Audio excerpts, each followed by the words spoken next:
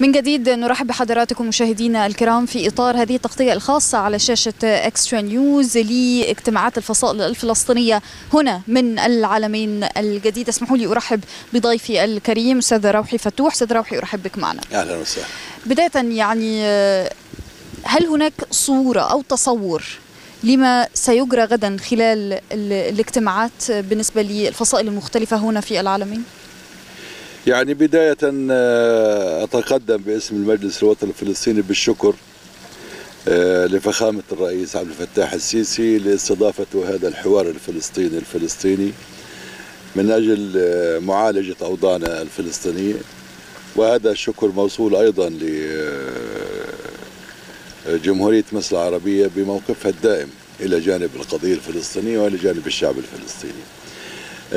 من ناحية أخرى هذا الاجتماع يأتي فعلا بعد ما قامت به حكومة اليمين المتطرف الإسرائيلية حكومة نتنياهو وسموتريتش بالهجوم على آه، مدننا وقرانا الفلسطينية وخاصة بعد معركة جنين الأخيرة.